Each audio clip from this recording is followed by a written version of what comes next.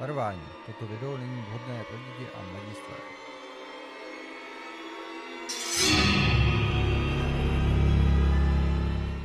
Takže čau, já vás vítám u třetího dílu ze Sušáren tady v severočeském kraji a nejenom v severočeském, jezdíme i po Litoměřicku a Mělnicku a tak podobně, to už víte. Teď jsme nedaleko Žace v Rybňanech, kde mají tady tu speciální starou sušárnu a podobnou mají v Dubé, kam doufám, že se zajedeme taky někdy podívat, to by mohlo být potom pokračování. Každopádně třetí díl, teda pojďte se s námi podívat, třeba i tady na tu sušárnu. První sušárna, kterou dnes navštívím, je v Lišanech u Rakovníka. Jedná se o čtyřkomorovku, která je stavěna opět podle jiného vzoru. Jak si můžete povšimnout, chybí výtahová šachta, takže se to tahalo buď po kladce, anebo jestli uvnitř byl výtah, těžko říct, nevím, vevnitř jsem nebyl, ale co mne na první pohled zaujalo, tak to je tvar těch komor samotných a samozřejmě i těch přístavků, protože když se podíváte, tak, tak s tím velkým oknem jsem se ještě nikdy nesetkal.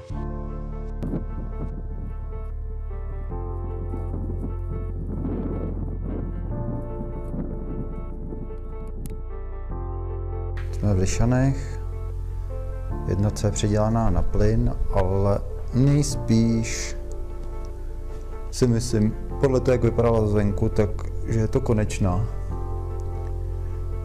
Že prostě dál už s touhle sušárnou nic nebude.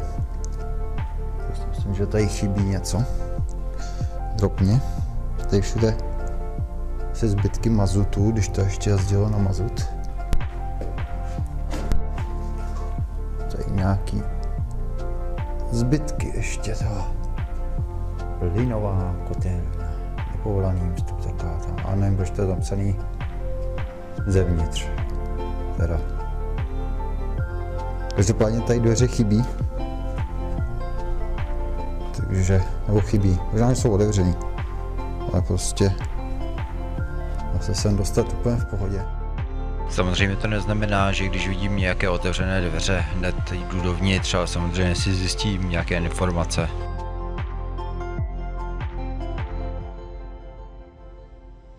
Tady už máme spadlou střechu. A už se rozpadá. Že myslím, že fakt konec. Co je atypické u tohleté sušárny je to, že tenhle ten přístavek, který je vedle kotelny, slouží jako sociální zařízení, nejspíš i odpočinková místnost, které běžně v těch klasických čtyřkomorovkách bývaly uvnitř.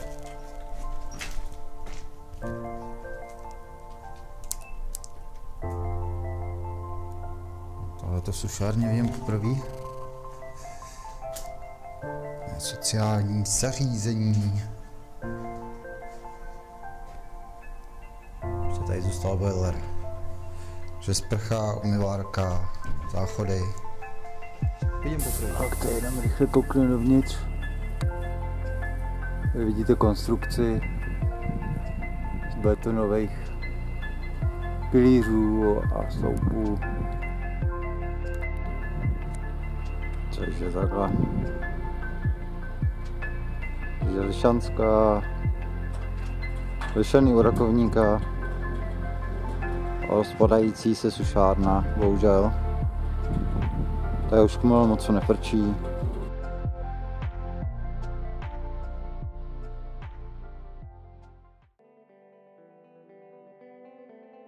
Naše třetí historická navštívená sušárna se nachází v Rybněnech. Je to, je to sušárna takzvaně anglického typu, kdy ten hvost je dělaný do takové homole, dá se říct. Sušárna se nachází na soukromém pozemku, čili není dobrý přístup k ní, ale nicméně ukážeme si pár obrázků z interiéru.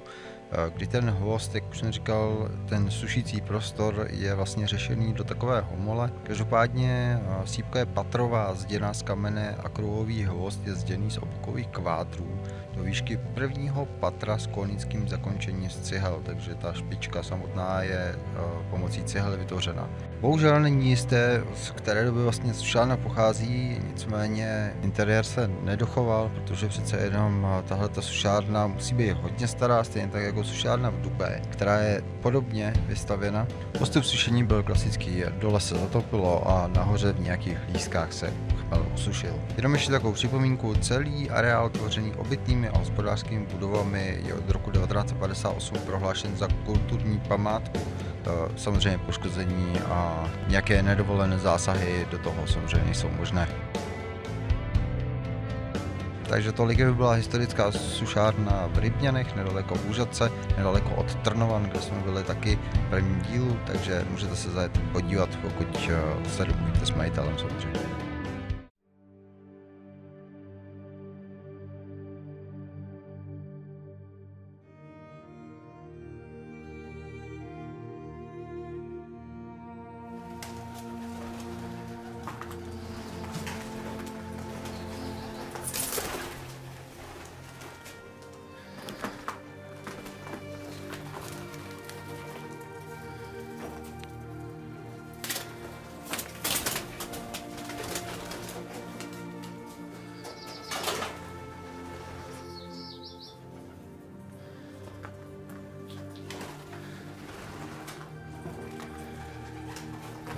Pohodě. Je tady spousta holubů. To tady je zadělaný. Vypadá, že podlaha je v pohodě.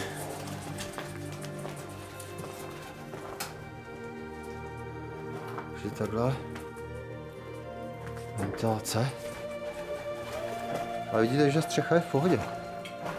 Jsem nějaký jakoby extra nezatýká.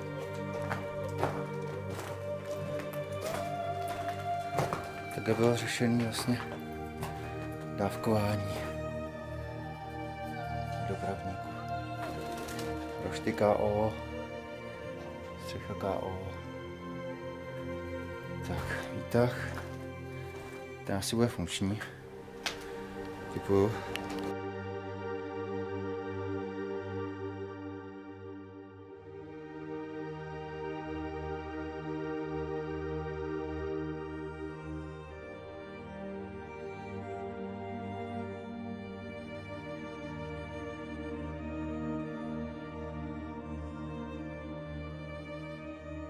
Konečně dostali do sušárny, tady do těch míst. I když už je nefunkční, ale můžeme se podívat, jak to vypadá s těma komorama. Tady jsou vlastně ty rošty, dvě patra a tady to je to finální třetí patro. Kde se, kde se ten chmel vysejpal do těch lísek. Lísky máme tady. Takhle velký. Tady se vlastně scházoval potom ten chmel tady odsud, ještě o patru níž. Se lisoval, ale vypadá to, že to je zachovalý. Tak nějak vypadala i ta na Lipně. Jak tady ta čtyřkomorovka. Jste si mohli všimnout, je to teda dělaný na velký lísky. Opravdu jsou velký, to má tak 2 metry šířku. Takže takhle to vypadá. Tady to měli teda automatické plnění. A dokonce, což na některých není, tady to je, tady jsou i okna. Bylo vidět, jak to vypadá vlastně na těch jednotlivých roštech, na těch jednotlivých patrech. Takhle je to celá parádně zachovalý. Super. To je jedna z mála, které jsou tak nějak v pohodě. Tak ještě fotka.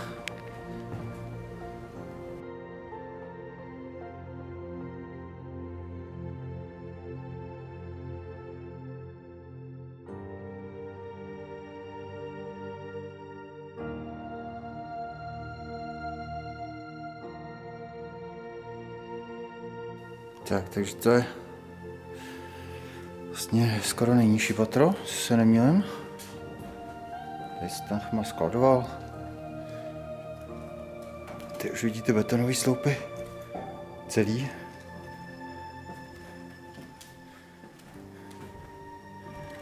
Tak, tady nějaké součásti. Tu vzduchotechniku. Rozvod tepla spíš. Elektroinstalace ještě tady je. skoro celá. Tam už to nějaký uřezaný, ale nevadí. Parádní prostory. No, proto mají ty sušárny tak rádi, no. Velký skladovací prostory pokud je dobrá střecha, tak není potřeba moc údržby. Tak. Teď teda už můžete vidět uskladněné věci, ale to nám nevadí. Jsme se podívali, že to jsou velký prostory. Stejně jak nahoře. Tady zase máme ovládání.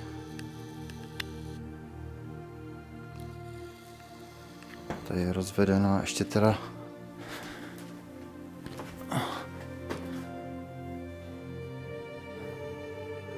Teď přesně nevím, jestli to byl nějaký list tady, nebo to tady bylo, netuším.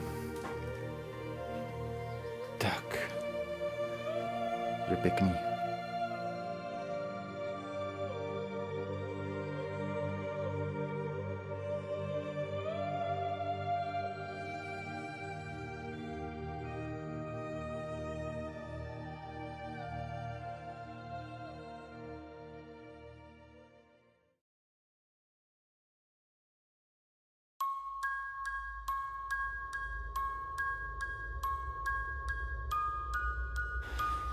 Každopádně dnešní poslední zastávka Sírovice. Nevím, jak hodně to vidět, jak hodně je mě slyšet. Co mě musím dávat bacha, protože tady jsou holuby, serou na mě. Tady zbylo jenom tohleto, tady pomalu se to rozpadá, se podíváte. Je to teda tříkomorovka, si dobře vidím. Pochybuju, že tady něco zbylo, budu se podívat teda do těch komor samotných. Tady zase na šuplíky místo. Bylo to zase na dvě patra, na dva rošty, na sejpání zase z hora. Klasická vlastně komorová sušárna. Takhle to vypadá. Vybrakovaný pilíře pomalu padají. Teď se půjdeme podívat do té komory. Nebudu tam nějak extra líst. Je to asi o hubu už teďko. Jo, vidím to. Se to rozpadá. Dvě rošty jsou fuč. Střecha, kaput. Takže hotovo. Tady, tady je vymetý, no. no. A musím dát bacha, aby mě nezasrali nějaký holuby. Špárka to tady vedle mě spadlo. Takže takhle.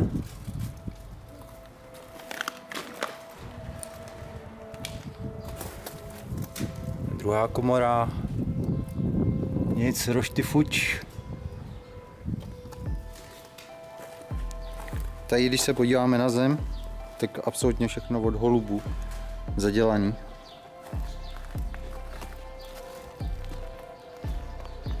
Tak, poslední. Poslední komora, to je trošku tma. Nicméně taky vybrakovaný. Že nikde nic. Jo, jsem to přiblížil. Takže třetí komora, taky vybrakovaná. Nikde nic. Prázdno, prostě, prostě úplně totální prázdnota. Tady nejspíš byl přechod do té stodoly vedle, byly skladové prostory sušárny. A mez byl dokonce žebřík. Takže to je asi jediné, co tady zbylo. Ten žebřík. Tak já se jdu podívat ještě zvenku. No, tím by byla krátká exkurze v sírovický sušárně u konce. Tak, super. Parádní prohlídka. Rychlá. Dobrý, asi vše.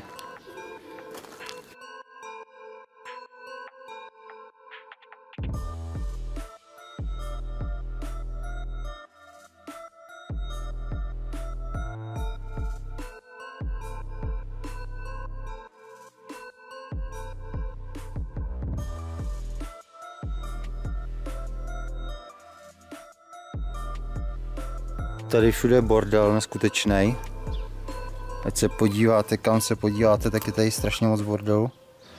Ale chmelu, chmelu se tady daří a má krásný výhony. Takže ten už pojede teďko.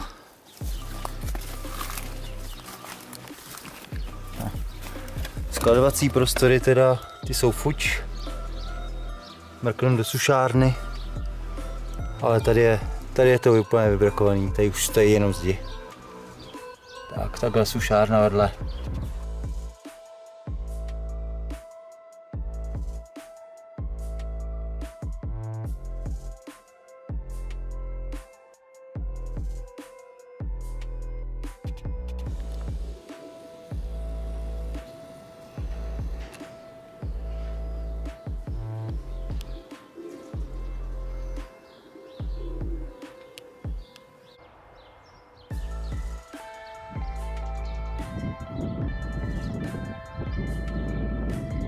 Nedaleko tady toho zámku. Myslím, že to je zámek. Mělo by to být snad i památkově chráněný, ale se to jenom rozpadá. Pochybuju, že bude někdo někdy opravovat. Ale tam se podívat radši nejdu. To se fakt už sype. Takže jinak to byl takovýhle areál. Obrovský s tu sušárnou. Prostě fakt obrovský areál. Krásný statek to mohl být. Takže Sírovice bohužel, sice jsou tady pár hezkých baráků, ale jinak mrtvá ves.